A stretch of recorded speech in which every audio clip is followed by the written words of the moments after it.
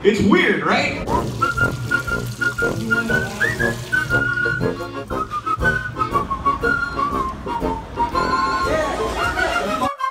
Give it up for Augusta Anderson, everybody! The problem is whenever you have to go to take the Spanx off, it's like opening up a can of Pillsbury crescent rolls. It's just like!